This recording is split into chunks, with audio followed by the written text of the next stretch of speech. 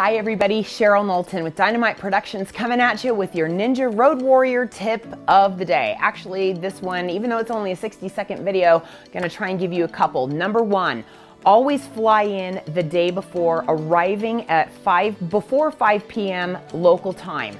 That way you'll be able to get to your hotel, have some dinner, check in, get to bed at a decent hour, and make sure that you set multiple alarms so that you are good to go and ready to rock and roll the next day. Next, absolutely no sightseeing until after you are completely done speaking. If you are speaking for two days, I do not allow myself to watch any television and I do not allow myself to do any sightseeing. If the Liberty Bell is literally across the street, I will not go look at it until I am done and I have concluded and rocked it and done everything that I was hired to do.